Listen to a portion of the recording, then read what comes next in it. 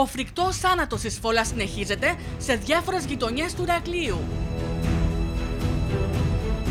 Ανεγκέφαλοι σκόρπισαν χθες το θάνατο σε δεκάδες αδέσποτα σκυλιά στην περιοχή των Καμινίων. Έριξαν δηλητήριο σε κοτόπουλα που πέταξαν στον δρόμο και έξω από κάδου απορριμμάτων.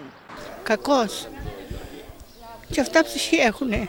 Και είδα όντως το μαύρο σκυλί πεθαμένο και άκουσα πάρα πολλά αρνητικά σχόλια ε, ότι διαρκώς βρίσκουν ψοφισμένα σκυλιά, ψοφισμένες γατούλες. Κάτι πάντως δεν πάει καλά. Συγκεκριμένα από εκείνο το σημείο, ε, τρία έφαγαν από αυτό το, το κοτόπουλο, τα δύο πεθάνανε. Υπάρχει μεγάλη αναστάτωση και αν θα δείτε στην ανάρτηση που έκανα Πολλοί κόσμος από ό,τι βλέπω στα μηνύματα έχει εξοργιστεί. Τρία σκυλιά δηλητηριάστηκαν, εκ των οποίων το ένα κατάφερε να σωθεί από την ιδιοκτήτριά του, ενώ πρόσφατα 16 γάτες βρήκαν φρικτό θάνατο από φόλες. Και ήταν κάτω κομμάτια κοτόπουλο, πεταμένα. Το σιλάκι ήταν ψεύσιο.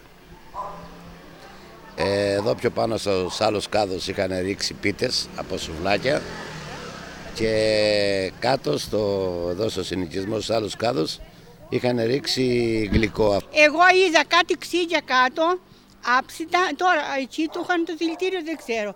Και ένα μαύρο γάτι και επειδή και εμάς μας ε, ψακώσαν ένα σκύλο που δεν είχαμε, γι' αυτό ελπίδηκα πάρα πολύ. Πήγα τον Ικούνσα, ήταν κόκαλο.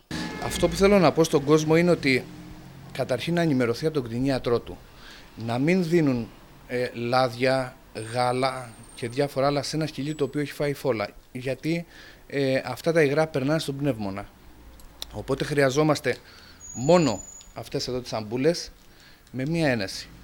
Μάλιστα, φιλόζωοι τοποθέτησαν ταμπέλα με τη φράση Προσοχή φόλες, η οποία άγνωστο πώς εξαφανίστηκε από το σημείο. Οι νόμοι το ξέρω ότι είναι πολύ αυστηροί, αλλά ποιος είναι αυτός, αυτό δεν ξέρουμε.